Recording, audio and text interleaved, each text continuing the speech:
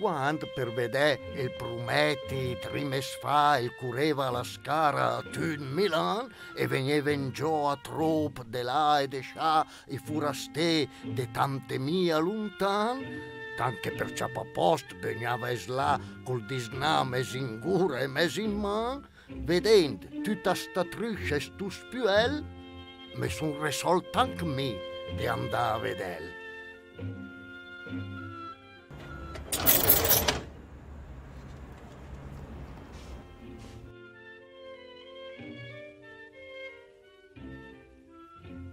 La contessa tornò al palazzo del Dongo allegra e contenta. Non si può essere più galantuomini di quel fu birbaccione, disse alla marchesa. Stasera alla scala, quando l'orologio del teatro segnerà le dieci e tre quarti, manderemo via dal palco le visite, spengeremo le candele, chiuderemo la porta e alle undici il canonico in persona verrà a dirci quel che gli è riuscito di fare. Abbiamo pensato che questo è il modo meno compromettente per lui.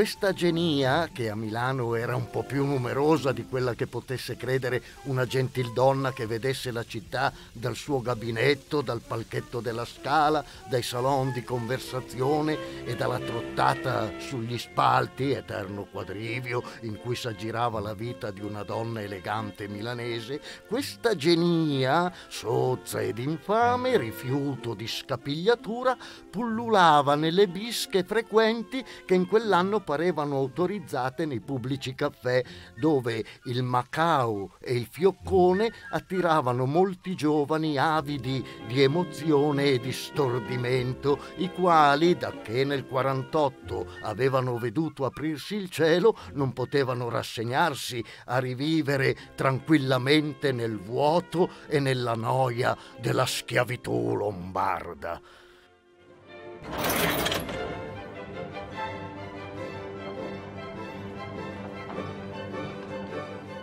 Il buon negoziante dal temperamento acquoso oggi capiva anche l'incendio e la rovina. Egli che predicava tanto sugli scioperi e sulla prepotenza del signor operaio, oggi si sarebbe messo alla testa di un esercito di malfattori per punire i galantuomini del male che gli faceva soffrire una donna. Egli, sì, egli, con le sue mani avrebbe gettato petrolio e fuoco nel teatro della Scala per il gusto di abbruciare un covo di ladri eleganti che non ti rubano, no, la borsa, ma ti rubano la pace, l'onore, la stima della gente.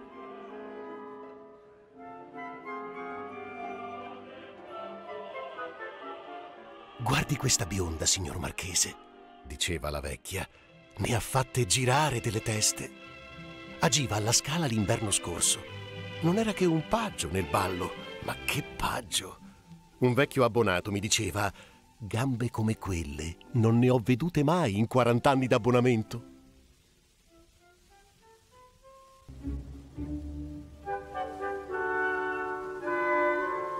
Tornava da Piacenza, dove era stato a cantare la Tosca con enorme successo. Naturalmente lei non mi ha mai sentito cantare, disse. Quando canterà a Milano? Quest'autunno, alla Scala. Scommetto che ti buttano le poltrone, disse Ettore. Vi hanno già raccontato quando gli tirarono addosso tutto il teatro, a Modena.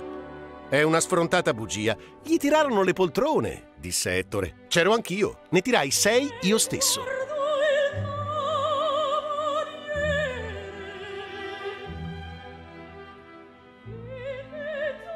Tutta la sua mentalità, come dicevano allora a Milano, cioè la sua psicologia di donna di popolo, di cantante e di stiratrice in proprio, fu rivolta invece a evolversi, a trasfondersi in una borghese perfetta, in una signora al cento per cento, con due domestiche, cuoca e cameriera, con un marito in piena regola, con un ottavino di palco alla scala a sentir cantare gli altri, no a cantar lei, con un breloc tempestato di diamanti sull'avvallamento centrale del seno, che era un seno piuttosto ragionativo.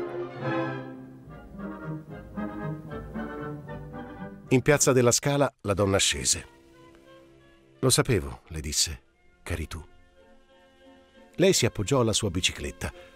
Era, egli le disse, come tu sei stata.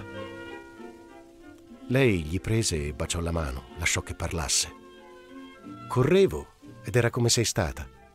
Correva il tram ed era come sei stata. Questo in piazza della Scala. Ma lui non sapeva che cosa intendesse dire.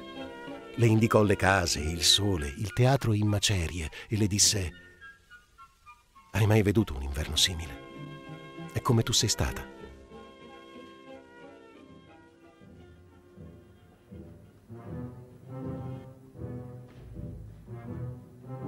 rimestando questi problemi, giunse in piazza della Scala. Ed ecco i pensieri sgradevoli fuggire via alla vista consolante del fermento alla porta del teatro, delle signore che si affrettavano in un precipitoso ondeggiar di strascichi e di veli, della folla che stava a vedere, delle automobili stupende in lunga coda, attraverso i cui vetri si intravedevano gioielli, sparati bianchi, spalle nude mentre stava per cominciare una notte minacciosa, forse anche tragica, la scala, impassibile, mostrava lo splendore degli antichi tempi.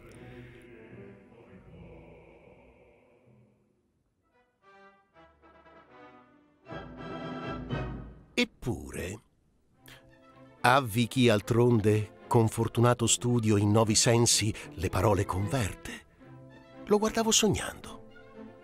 Davvero sognando Stendhal. Mi sentivo altro che separato da tutto il resto dell'uditorio, dalla scala, dal mondo. E le luci si riaccendessero, si potevano udir delizie, levar brache e velari, finir l'opera. Gli applausi clamorosi non mi toccavano. Avulso dal contesto come niente. Come niente. Sarà stato così? Il romanticismo?